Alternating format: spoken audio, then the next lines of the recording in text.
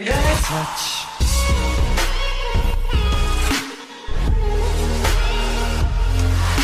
Hallo, zurück zu einem neuen Vlog. Wieder aus meinem Zimmer. Ich bin schon seit zwei, drei Stunden wach und habe gerade noch ein paar äh, Telefonate geführt. Und zwar wird bald auf meinem Vlog-Channel etwas kommen, worauf ich mich schon mega freue. Und äh, davon weiß noch fast keiner. Ich weiß, ihr Zuschauer hasst es wahrscheinlich, wenn YouTuber immer irgendwas so anfangen, über irgendwas anfangen zu erzählen und dann aber nicht sagen, worum es geht. Aber ich kann nicht sagen, es geht, also es hat nichts mit YouTube zu tun, sondern was in meinem Privatleben. Und ich werde euch auf jeden Fall auf dem Vlog-Channel mitnehmen. Und ich habe eben noch ähm, mein Video fertig geschnitten, was heute kommt. Mit meinem Bruder. Dieses Video, ne? Ich habe die ganze Zeit zwischen hochladen, nicht hochladen, hochladen, nicht hochladen, hochladen, nicht hochladen, hochladen geschwankt, weil es war so richtiger Zwiespalt irgendwie, weil mein Bruder und ich beide hatten so ein bisschen Angst, dass es zu langweilig wird. Und ich habe auf Snapchat und Twitter halt nachgefragt, ob ihr es denn noch sehen wollt. Und alle meinten es ja, wir wollen es trotzdem sehen und dann dachte ich mir die ganze Zeit so, ja, ist ja klar, dass sie es alle sehen wollen, aber am Ende werden trotzdem bestimmt alle schreiben, dass es langweilig ist und so.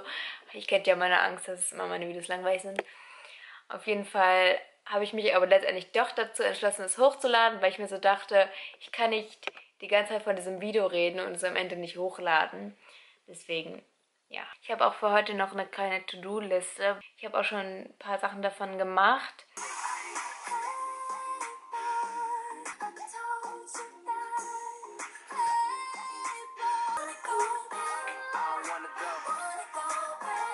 Ich habe übrigens ähm, eine neue Playlist auf Spotify öffentlich gemacht. Verlinke ich euch mal in die Infobox. Sie heißt Jamming with Easy. Ja. So sehe ich auch wieder ein bisschen fresher aus. Bei diesem Lied habe ich das auf meinem Blog-Channel eigentlich erzählt. Ich weiß nicht, ob ich es nur auf Snapchat erzählt habe. Übrigens auf Snapchat heiße ich ähm, Ishtar Sarah Isik. Nini.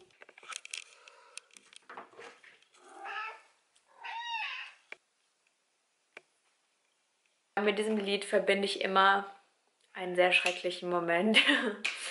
auf jeden Fall hatte ich da einmal auf Snapchat hatte ich mich so gefilmt, wie ich so zu diesem Lied so getanzt habe.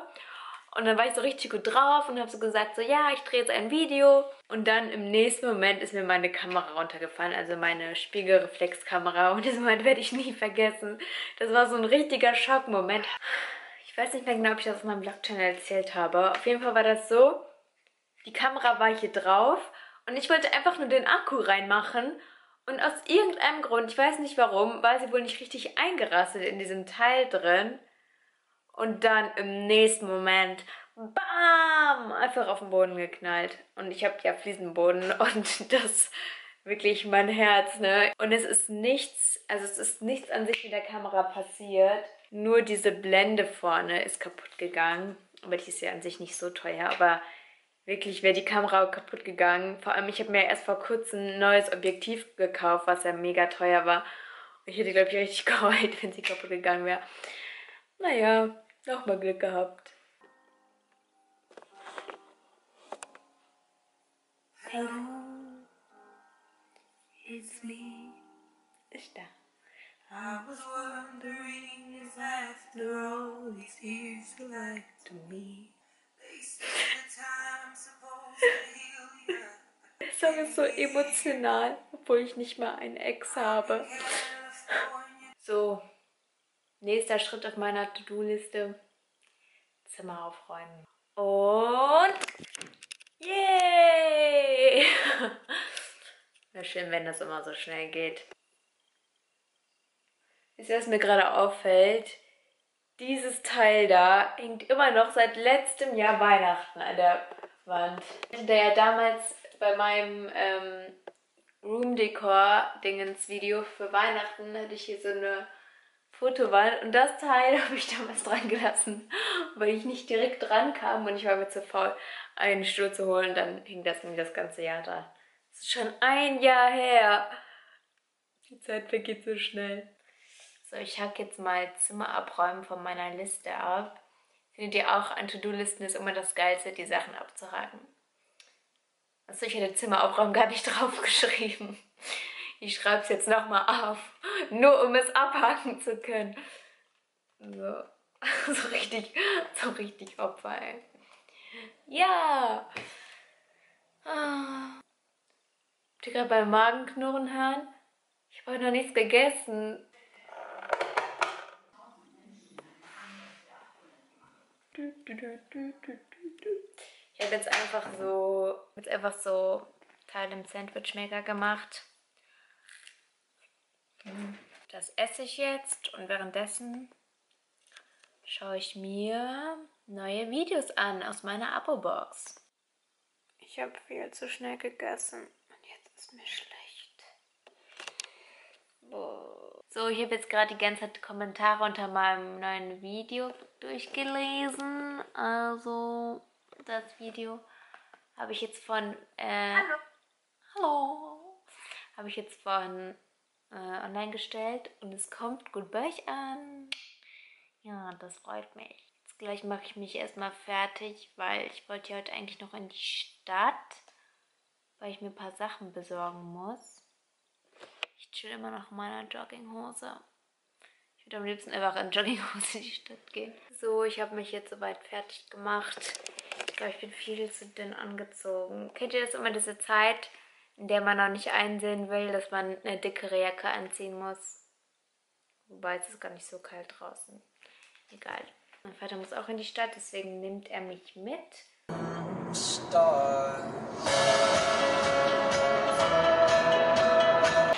ich bin jetzt in der Libori-Galerie, äh, weil ich muss jetzt kurz zu Saturn.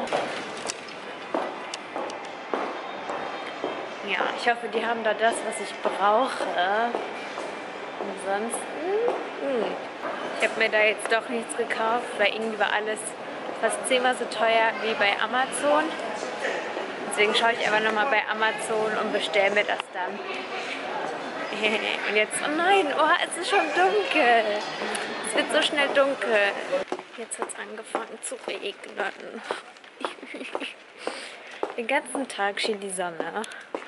Genau jetzt ist ein Zeichen, dass ich nicht das Haus verlassen soll.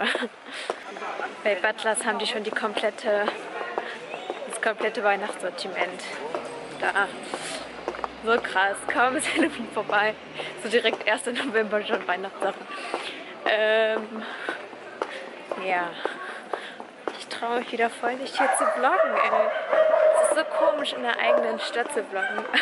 Habt ihr gesehen, wie der Opa sich umgedreht hat? Ich muss übrigens eigentlich nur für Unterwäsche in die Stadt. Also ich gehe jetzt erstmal zu Hunkemöller und danach will ich noch zu H&M und dann schaue ich weiter. Ja.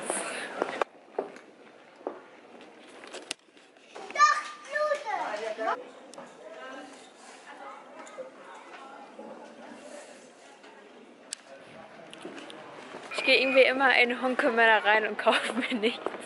Ich finde die neue ähm, Kollektion von Sebi Mais eigentlich voll schön. Aber irgendwie, ich sehe es einfach nicht ein, für einen BH 40 Euro zu zahlen. So viel Geld. Also es kommt drauf an, bei manchen BHs habe ich auch schon mal mehr Geld ausgegeben.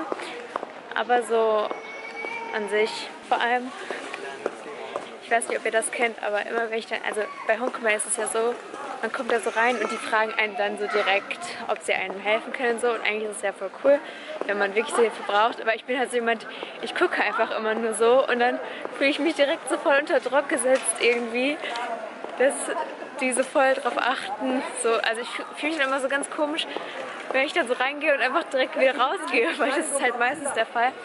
Deswegen, ja, ich gehe einfach jetzt zu H&M.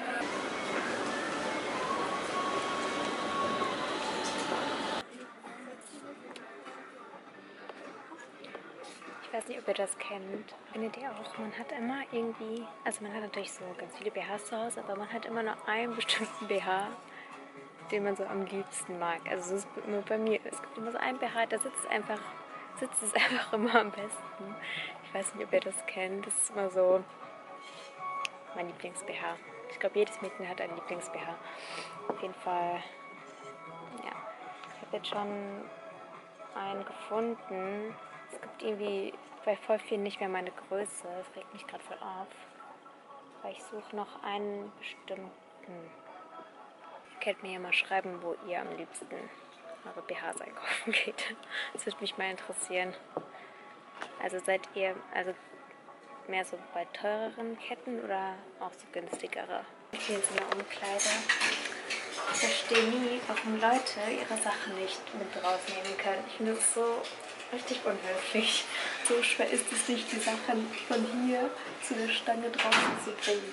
Woran ich gerade denken musste. Früher, als ich so angefangen habe, BHs zu tragen, habe ich mich nie so getraut, so welche einkaufen zu geben. Beziehungsweise immer in von meiner Mutter im H&M war, habe ich ihm mal die BHs gegeben und gesagt, so halt die bitte in der Zeit, wo wir halt durch den Laden gegangen sind, weil ich immer Angst hatte, dass zum Beispiel Jungs aus meiner Schule irgendwie kommen würden und mich dann sehen mit den BHs. Ja, könnt mir mal schreiben, ob es euch auch damals so ging.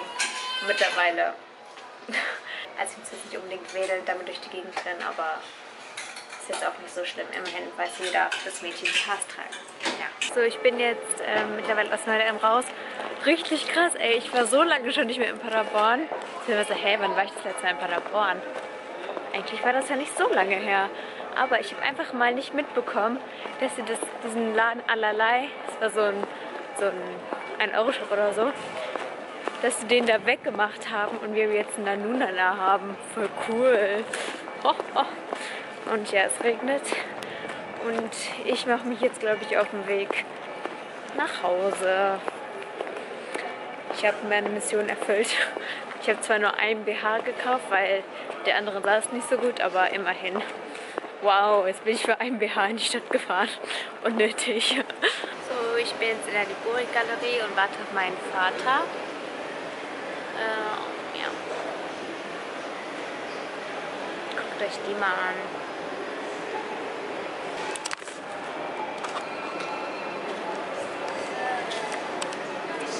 Ich da? Ja. ja. Hi. Hi. Ich gucke durch das 20 passiert so. Ja. Ich liebe Videos. Dankeschön. Bist du gerade dabei, ein Video zu machen? Ja, ich vlogge gerade. Bist du drauf? Ja, bitte. Ich habe hier gerade eine Zuschauerin getroffen. Wie heißt sie denn? Maria. Maria. Hallo. Möchtest du jemanden grüßen oder so? Keine Ahnung, was ich grüßen? Meine beste Freundin. Okay, liebe Grüße an dich. Danke schön. Viel Spaß. Ne? Danke, tschüss. Wo bleibt mein Vater? So, ich bin jetzt gerade wieder zu Hause. Meine beste Freundin hat mich wieder in einem Facebook-Video verlinkt.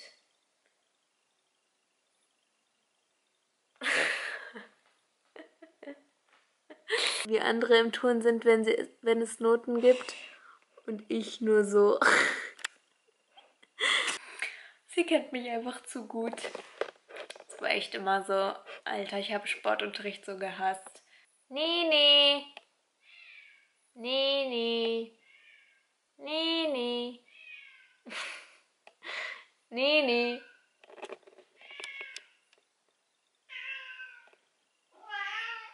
No. Willst du essen, hä?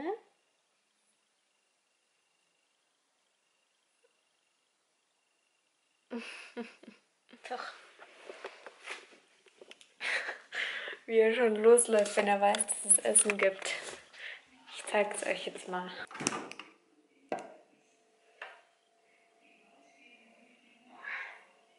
Los!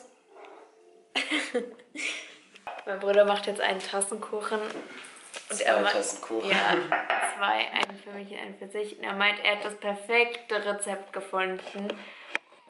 Weil wir haben schon öfters Tassenkuchen ausprobiert und die wurden irgendwie nie so gut. Und jetzt macht er eins.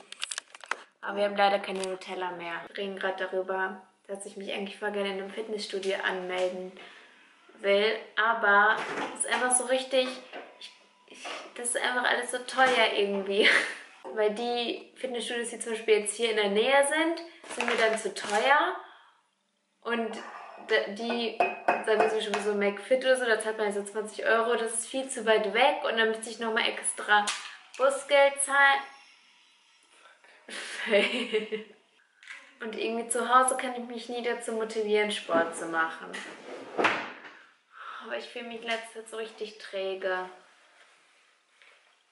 Wäre ich nur so motiviert wie mein Bruder. Dieser Moment, wenn kein Nutella mehr da ist. Diesen Moment. Wir haben jetzt Nusskati genommen. Ih, guck dir das mal an. Du musst richtig schnell und feste.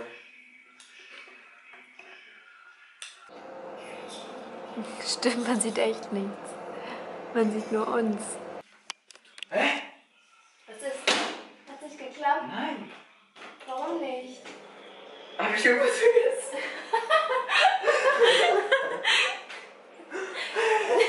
Nur weil du es mir zeigen wolltest. Das ist wirklich so. Für Effekt. Das ist immer der Vorführeffekt.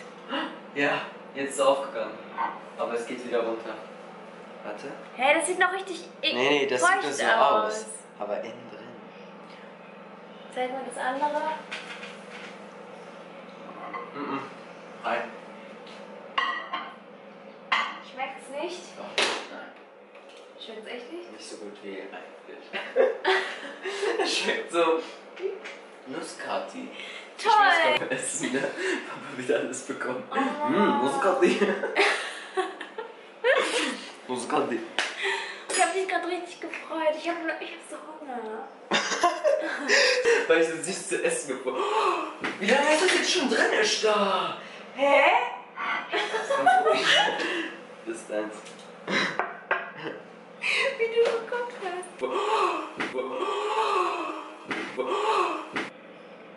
Warum mache ich dir das jetzt? oh, schmeckt nicht. Schmeckt gar nicht mehr so schlecht.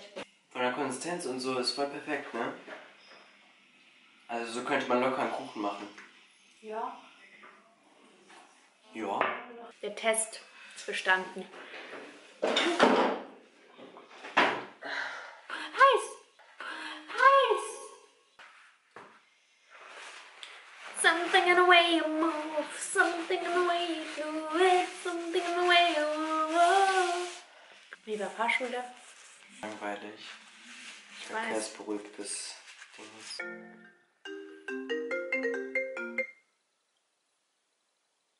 Ist da. Du hast es, du isst es gerade bestimmt nicht auf, oder? Oh, Als ob. Oh, der arme Papa. warum? Weil er gesagt hat, äh, gib mir einfach das, was übrig bleibt bei euch. Miskeno, ich habe schon fast alles aufgegessen. Ja, bei mir ist noch ein bisschen, ich gebe ihm das jetzt. Warte, du kannst meins auch mitnehmen. Ich kann eigentlich nicht mehr. Nicht. Ja. Was wolltest du mir sagen? Nicht. Du hast mich gerade voll dumm angeguckt. So, ich bin gerade schon dabei, den Vlog zu schneiden. beziehungsweise Ich habe ihn soweit fertig geschnitten. Und der ist einfach mal 21 Minuten lang. Und ich habe schon eine Menge weggeschnitten. Ich rede einfach zu viel. Vor allem am Anfang rede ich irgendwie vier Minuten oder so. Ich glaube, das kürze ich noch mal ein bisschen. So, ich habe es jetzt auf 18 Minuten gekürzt. Trotzdem noch verlangt. Auf jeden Fall beende ich jetzt den Vlog schon mal. Ich muss zwar noch ein paar Sachen machen, aber da kann ich die Kamera eh nicht so richtig mitnehmen. Deswegen, ja, wir haben auch schon 11 Uhr. Kann ich auch den Vlog schon mal äh, exportieren und hochladen. Und ja. Neben mir findet ihr meinen letzten Vlog. Da könnt ihr auch gerne vorbeischauen, falls ihr den noch nicht gesehen habt. Und dann sehen wir uns beim nächsten Mal wieder. Bye!